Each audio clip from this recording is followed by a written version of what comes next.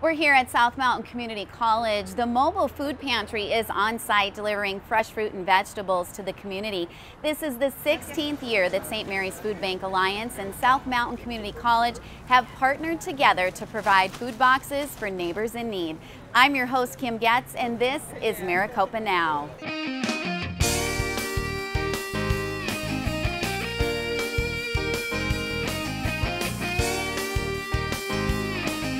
Up on this edition, a creative approach incites enthusiasm for all at Math Camp. Career training in high demand occupations paves the way for student success. And alumni, staff, and friends hit the links for some friendly competition and a good cause. And there's so much more on this edition of Maricopa Now. Stay tuned. A single ember that escapes from a wildfire can travel more than a mile. You can't control where the ember will land, only what happens when it does. Get Fire Adapted now at fireadapted.org. It's never too late to go back to school, but for adult learners, mixing family work and an education can be a challenge. Jesus Hernandez tells us how the Maricopa colleges are helping adult students. It can be a bit intimidating for adult learners who have decided to enroll in college, especially if they've been out of school for a long time. They work, have a family, and resources are limited. For some adults, it's just the fear factor. They've been out of school for a decade, maybe more, and it's the sense of, uh, do, is this really for me? For some, it's the, it's the first step uh, that is the most difficult. At Scottsdale Community College, according to the Office of Academic and Student Affairs, the average age of a student is 28 years old and older, with more than 3,400 students enroll in evening classes. Faith Olson is an adult learner who found the right mix of work and education.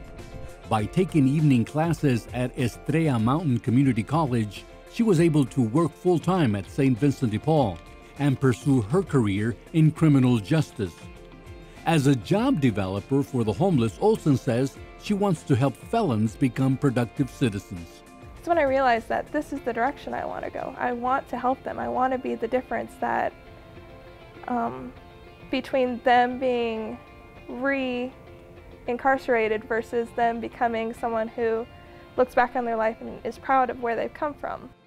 For adult learners like Faith Olson, it's all about convenience, reducing commute time, and the joy of working from home. To accommodate the growing number of adult learners, the colleges are offering more hybrid classes. Uh, it's often difficult to get to class two, three, four times a week, um, but with hybrid offerings, online, some of the classes taught online, while other parts of the classes are face-to-face. -face. We find that adult students in particularly want and need that face-to-face -face connection with their instructor. According to CORE, adult learners are a reflection of changes in their industries those seeking promotions, preparing for new careers, or recovering from layoffs that occurred in 2008. CORE believes it makes for a great learning environment to have adult learners share their professional experiences with 18 year olds just out of high school. For Maricopa Now, this is Jesus Hernandez. Whether it's students excelling in the classroom or being placed in the workforce, for Maricopa colleges, it's all about student success. The efforts of Maricopa's workforce development are being realized when students like Mesa's Cassie O'Coin enter into the working world to begin a rewarding career. Rural Electric is an industrial electrical contractor. We uh, manufacture our own control panels, um, light cans, and just a lot of the equipment that we install nationally. We do water wastewater treatment plants, we do controls, instrumentation and controls. We do a lot of airport lighting. So when you're out taxiing on the runway, getting ready to take off, the lights that are next to the runways and taxiways, those are the lights that we install and maintain. It's very difficult at times to um, recruit and hire good talent here in the Valley. The recession that we just went through, which was uh, significant, we lost a lot of talent. I received a call from a career navigator at Mesa Community College, Cesar, and he had a candidate that he thought would be a good fit for our team. We're always trying to bring in uh, new blood, and it's an aging vocation. It's the best way to put it. So if you go down to construction sites, uh, even in a panel shop, you'll see a lot of uh, older people. Cassie O'Coin was the individual that Cesar uh, wanted to refer to us. I was able to speak with her over the phone and learned not only is she fairly far along in her studies at Mesa Community College, but she actually has a very different background from what I was expecting. She comes from a family of journeyman electricians. She's only been here uh, a short while and she's already, she's working in our panel shop and uh, have a manufacturing group and I was in fact back there talking to one of our, one of her coworkers and he was literally raving about the quality of the work that she's doing. I'm part-time here, I'm 24 hours, so I'll be going back to school in fall um, at MCC.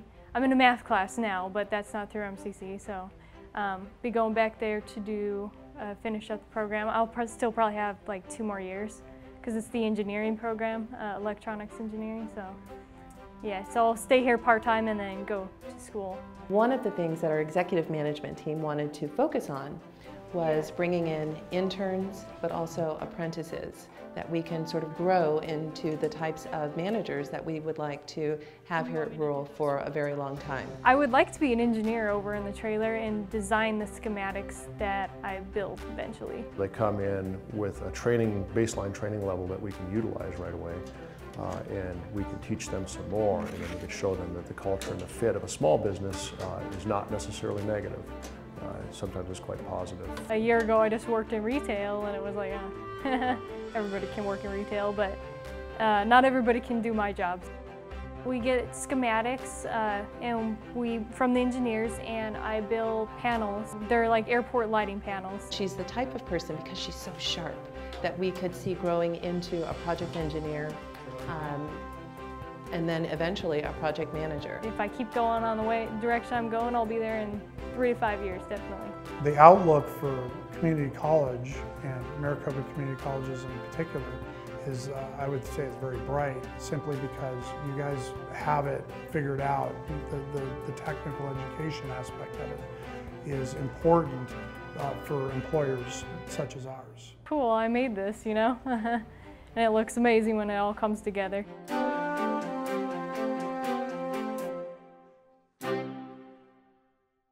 Coming up on Maricopa Now, like the game of golf, life for college veterans is all about adjustments. Stay with us. They said a bottle was just a bottle.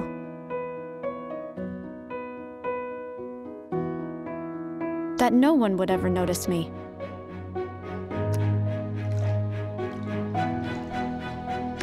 But I knew I could be more.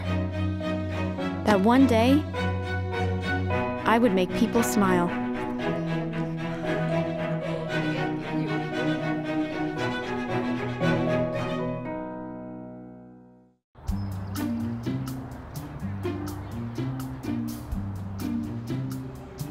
Don't worry, 74 people were picked before me in the NFL draft. To fight childhood obesity, United Way and the NFL are helping kids play at least 60 minutes a day. Okay, time for the team obstacle course. Yay! What this place needs is more healthy kids. To get involved or donate, go to unitedway.org slash play 60. Now I get it. I teach because I love it. I really appreciate the opportunity to work with our students and our faculty, but the best part of it is when I'm working with a student and all of a sudden they've gone through all of these challenges, they've really struggled, and then the light bulb goes on and they get it. And so the reality of teaching is that you work with students and you want them to learn, and when they do, and when you get to celebrate those milestones, whether it's passing a test or the big milestone when we get to celebrate with them at graduation is just awesome and well worth it.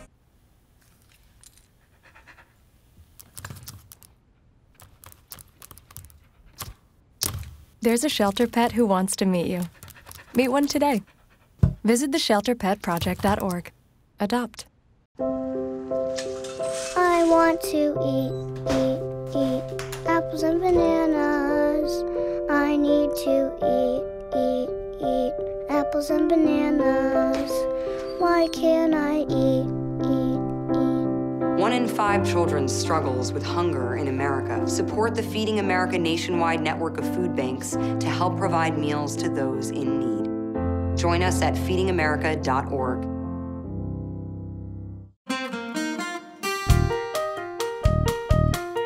They're outgoing, that they like to enjoy teaching and find new fundamentals to teach as well, and someone that's not boring. someone that really knows how to connect with the students and understand, because for me, uh, some subjects can be really hard, like math. So like I look for an instructor who could understand me as well. The mobile food pantry stops at South Mountain Community College the first and third Friday of each month. Students and employees volunteer early in the morning, making sure food boxes are packed and ready to go. Last year, more than 2,000 community members were served. For more information, contact Student Life and Leadership. This is Maricopa Newslog. Phoenix College observed Hispanic heritage with celebrations and with opportunities to learn more about Hispanic culture. Dancers in colorful costumes got the event off to a lively start. Students enjoyed games at the club fair and learned how they could get more involved on campus. The campus was honored by a visit from the Deputy Consul of Mexico in Phoenix, who led the Grito de Mexico, the cry of Mexican independence. Mesa Community College remembered our victims and honored our heroes during events at the 9 11 Commemoration Day. Representatives from the Phoenix VA healthcare system provided housing, medical, and educational resource information. The day included a community celebration with water activities for kids. The Half Metric Century Riders made a 32 mile round trip to MCC's Red Mountain campus. Fun Run participants displayed their enthusiasm and patriotism. Others enjoyed music, games, and great food at this day of celebration and remembrance. Scottsdale Community College's Film School and the Theater Arts Program have combined their creative talents to become the Scottsdale School of Film and Theater. Each program brings its own set of skills to the merger. Students learn production design, acting, and directing, as well as screenwriting and editing. And that's Maricopa Newslog.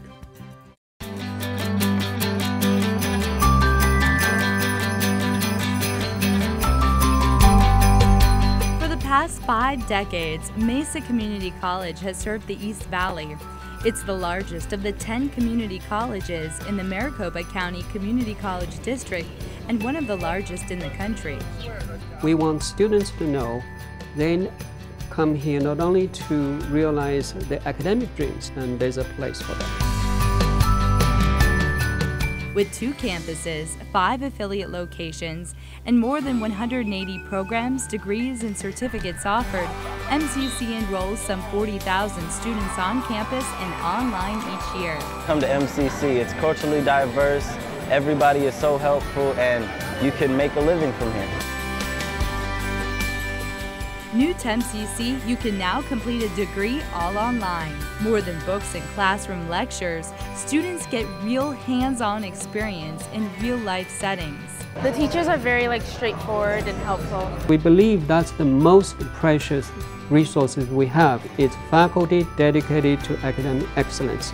I'm going to go give him an Accu-Chek and check his blood sugars and I'll give you a call back and let you know what okay. they are. Classes are diverse and cutting edge, from fashion design to fire science to mortuary science, there's something for everyone. Students get involved in sports, music, theater, and the arts. No matter the interest or pursuit, MCC excels potential. The Kirk Center provides students with everything from admission and records, advisement and registration, to cashier and financial aid. It's about getting your MCC experience started and welcoming you to the MCC family.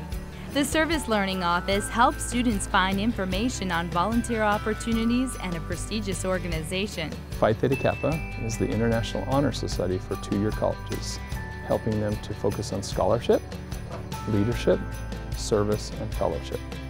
Mesa's PTK chapter is one of the best in the world and recognized as the most distinguished chapter of 2013. CTE or Career and Technical Education courses, three stereo auxiliaries, and one stereo master fader. Seen here at Studio 28, MCC's video and audio production headquarters put MCC on the map. There are more than 30 fully accredited CTE programs to choose from. Another part of CTE is health and wellness. This new LEED certified building Oh, it looks like we've got a little bit of drainage going on right now. So. Is where nursing and exercise science students are hard at work. As soon as you enter, you feel like you're in a brand new like high-rise building. There's even a fitness area with exercise equipment and a bod potty body composition measurement system. Deep breath in. Nursing students use lab mannequins like famous face Stella Bellman to practice and prepare nursing techniques. And statistics show it's working. 96% of MCC nursing students are passing their licensing examination on the first try.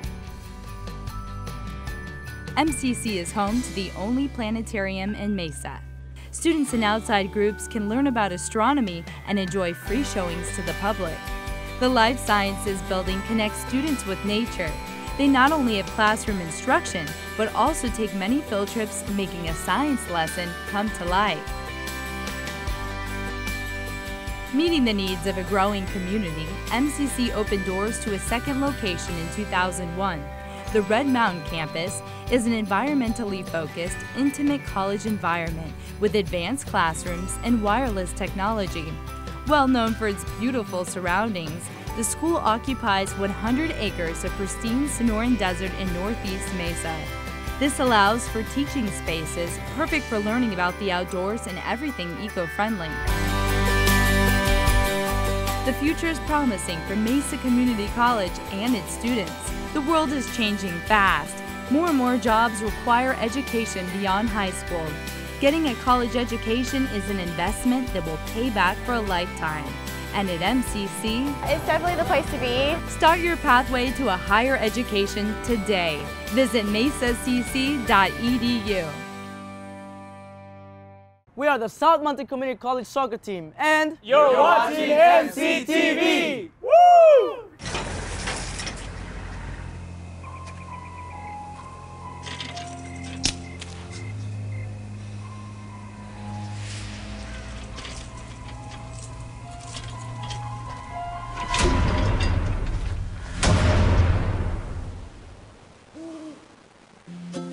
Fix them, sparks from dragging tow chains could cause a wildfire, and that could be scary.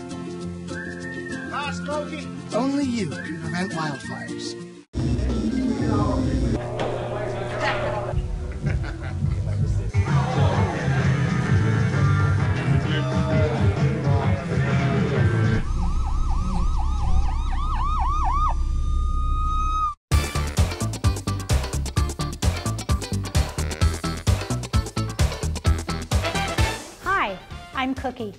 Today's Fit Tip is all about what our sedentary lifestyle is doing to our body.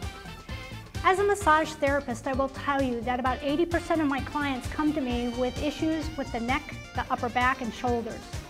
And when I look at what they're doing for a living, I kind of coined a phrase, and I use the phrase to kind of explain to them why they're having these problems. When we think about sitting at a desk and using a computer for a prolonged period of time. So most of us, if we're doing that kind of a job, have that, that seated position for about six, eight, or 10 hours a day. Understand that the human body was never meant to sit for that long a period in one stretch. If you go back to our anthropological roots, we actually used to walk for 10 to 12 miles a day. So you can understand when we come back and we're sitting in a chair for eight or 10 hours that we are going to have some muscle tension. One of the things that I really recommend is that every hour, if possibly, you have the ability is to get up and move. It's really important to move the body and to increase circulation. From a sitting position at your desk, if you're not allowed to get up and take a walk outside, from that sitting position, you can just bring the shoulders up and down several times. Increasing the blood flow in the upper trapezius muscle, you're gonna go into a circular pattern. From here, what I would do is, especially if you're doing a lot of typing, take the hands open wide, make a fist several times, and then go into a fist and stay and circle those wrists. Now think about your legs. When you're sitting for a long period of time, this area, all of the blood flow gets trapped. So it's really important that we activate our legs. So what I would have you do is rock up onto your toes and press down. Rock up and press down. Do that about four to five times and then take that right leg in front of you, sit up tall and just stretch the hamstring. Remember, when we're stretching the hamstring, we want to keep that spine nice and extended as we bow forward. You should feel the stretch right behind that gastroc, that calf muscle. We're going to come up and we'll repeat that same thing on the other side. Take a breath in, exhale as you bow forward.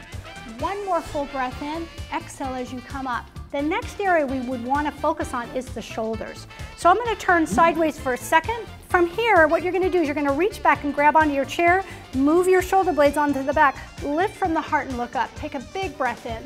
On your exhale, you're going to reach for your knees and round your spine, let the chin drop. You're going to do that several times. Trying to, again, increase the blood flow in that upper body. One more time, big breath in. Exhaling, circling the shoulders. And I'm Cookie, and that's your fit tip for today. You make me wear my bike helmet. You taught me never to run with scissors. And to follow the swimming rules. You tell me to stay away from drugs. To always buckle my seatbelt. So why do you keep a loaded gun in your drawer? How safe is that? You asked them to follow some safety rules. Now they're asking you. In fact, they're counting on you. Never let your gun get into the wrong hands. Remember, always lock it up. Visit ncpc.org.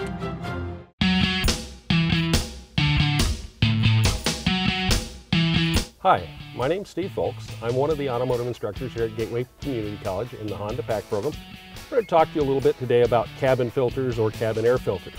Um, these devices exist in most of our newer cars and they're there for a good reason. If you look at this one, this is a dirty one. You can see all the material that's trapped in there. There's leaves and debris, various different pieces of stuff. And that's things that would normally come through your car. If you remember the older days, if you went out after a dirt storm and turned on your air conditioning, you got a big blast of dirt in your face. Thanks to these guys, we don't get that anymore. And so we want to talk about how to change one of these out and when you should do that. So in order to change this guy, in most of our cars, we're going to come in, we're going to open our glove box. This particular one has a little hydraulic strut next to it. We're going to release that, to squeeze in on the sides of the glove box, the glove box is going to come down. You just slide that cabin filter out, this happens to be new and this is what your filter should look like before it's going back in. So once you've got your new filter in place, you want to check, there's an arrow here that shows direction of airflow. This car also has a little map on it that says airflow in there. You do want to make sure it's pointing the right direction. Then carefully slide that back into the place, making sure it goes down in there nice and easy. Hangs up for any reason, stop and find out why. You may have to work it a little bit side to side.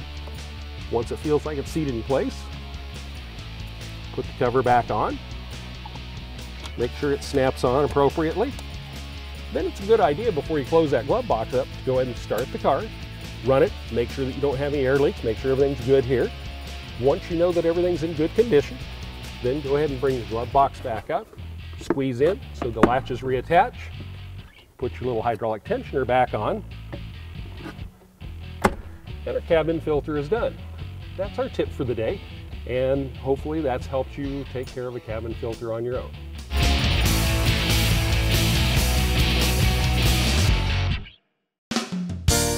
More than 100 middle school students recently participated in the Arizona Math Partnership Summer Camp, sponsored in part by Scottsdale Community College. They spent four days at ASU's Barrett Honors College. Garna Mejia has the story.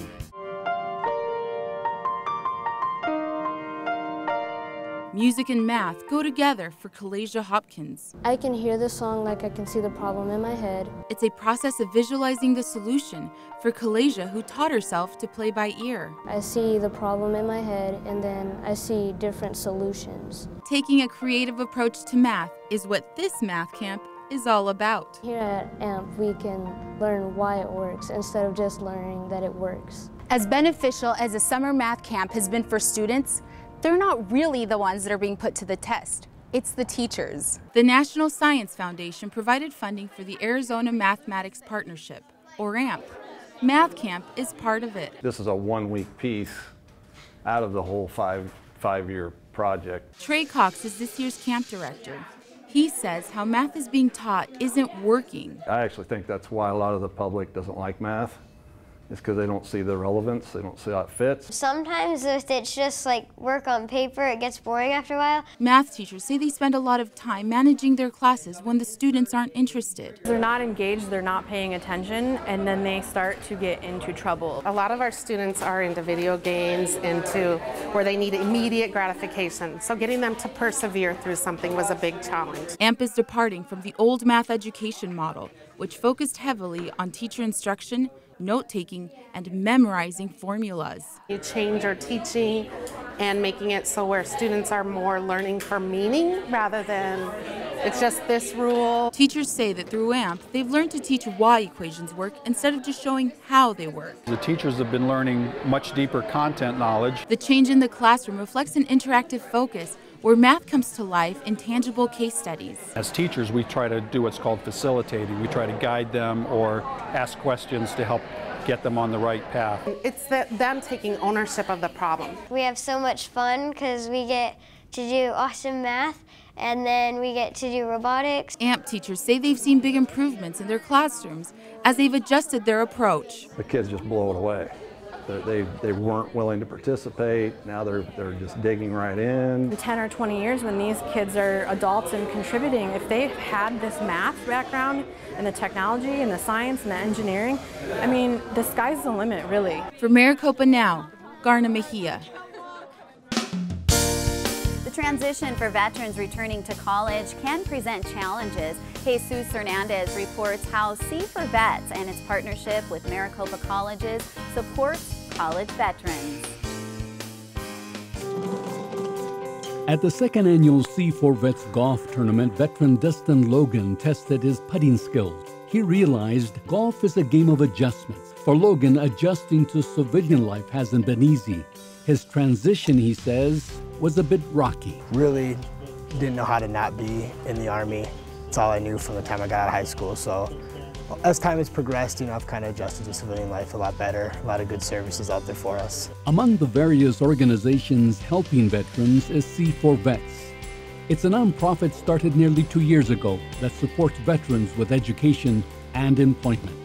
But we looked real hard to make sure we weren't duplicating something that somebody else was doing because there's a lot of organiza good organizations out there helping our, uh, our young vets as they, uh, as they leave military service after these long wars in, Af in Iraq and Afghanistan. This annual golf tournament raises funds for C4Vets. Since its creation, the organization has established a $5,000 scholarship grant at Arizona Western College and provided $12,000 in seed money to create a pilot program at Gateway Community College uh, program that's designed to help the student veterans at Gateway uh, get some of their developmental courses as they come back into school after they've served their nation. For veteran Joanna Sweet, the C4Vets golf tournament was special and important. She believes the additional money raised provides veterans a little bit of financial breathing room. We need to do that because it's important for us to give back to the community that has sacrificed so much um, for our country. Um, and as they're pursuing their dreams and um, achieving their academic desires, um, there's a lot of extra costs. Veterans representing most of the Maricopa community colleges took part in the C4Vets golf tournament. Dustin Logan is a student at Paradise Valley Community College, and he's working hard to reach his goals. I'm going for Associates of Fire Science right now, but the ultimate goal is a Master's in Kinesiology. Through the efforts of C4Vets, many veterans will be able to overcome the challenges experienced by others in the past. Making it easier for veterans is the designation of all the Maricopa Community Colleges as veteran friendly for 2015. For Maricopa Now, this is Jesus Hernandez. That's our show. I hope you've enjoyed it. Be sure to stay tuned to MCTV for our great lineup of shows, including Inside Maricopa Sports and 180 View. Also, check out our website at maricopa.edu slash MCTV and click on DeskTube. DeskTube allows you to watch this show and all of our regularly produced programs anytime you wish. Until next time, take care. Don't touch that remote. MCTV has more great programming coming right up. Join MCTV every day for Inside Maricopa Sports, Enfoque into Futuro, and our daily community calendar update in the district.